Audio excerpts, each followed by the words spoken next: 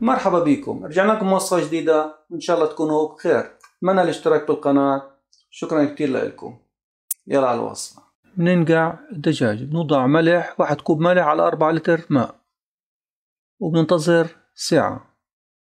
بعد ساعة بنرفع الدجاج وبنوضع التوابل. التوابل انتو بتشوفوها مناسبة أو التوابل انتو بتحبوها. وأنا حوضع التوابل اللي أنا حطيتها في صندوق الوصف أيضا.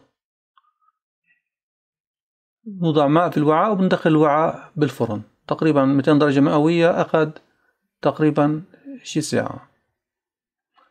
اللوز بنوضع ماء ساخن على اللوز وبنتظر تقريبا من سبع دقائق عشر دقائق يعني عندما يقشر لوحده مثل هيك مثل ما انتو شايفين.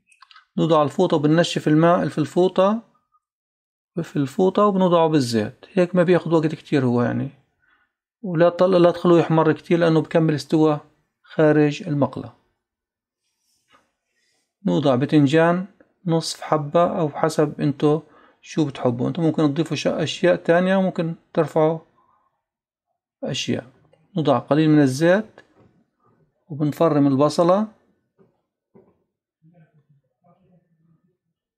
نوضع البتنجان نقلي البتنجان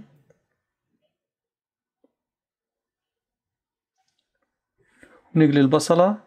خليها تدبل يعني. مثل ما حكينا ممكن انتو ترفعوا شغلات وتضيفوا شغلات. نوضع الطماطم من نفرم الطماطم. هيك بنوضع قليل من الزبدة. ونوضع الأرز بن بنحمص الأرز قليل. هيك أصبح جاهز الأرز. نوضع الطماطم بأسفل الوعاء من شان الطماطم فيها سوائل كتير وما بلزق الرز من الأسفل. نوضع الدجاج يعني بشكل عشوائي إحنا بنصفته. نوضع البتنجان نوضع البصل ونوضع الحمص. هذا حمص معلب أنا جبته. يعني ممكن تجيب الحمص معلب. نوضع رز نوضع بتنجان. وفي ناس بتوضع قرنبيط في ناس توضع فلفل أخضر انتو حسب ذوقكم انتو يعني شوفوا انتو المناسب وشو الأشياء اللي انتو بتحبوها.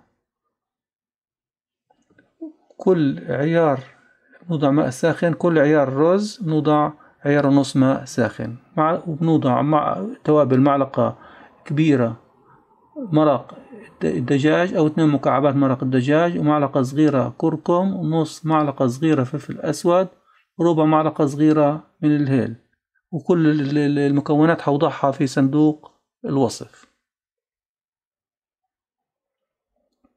يعني لو نسيت أنا إشي كله بوضعه في صندوق الوصف. أي شيء تلاقوه في صندوق الوصف.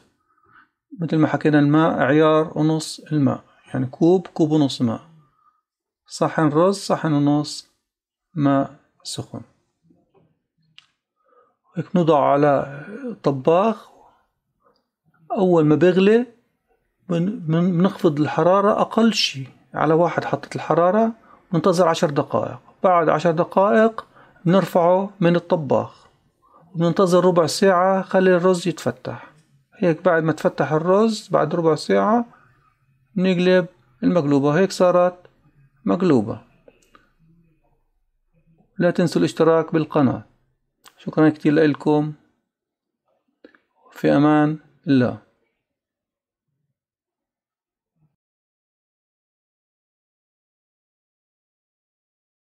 انتظرونا بوصفة جديدة. اتمنى الاشتراك بالقناة. شكرا كتير لكم. إذا عجبكم الفيديو تعملوا لايك مع السلامة.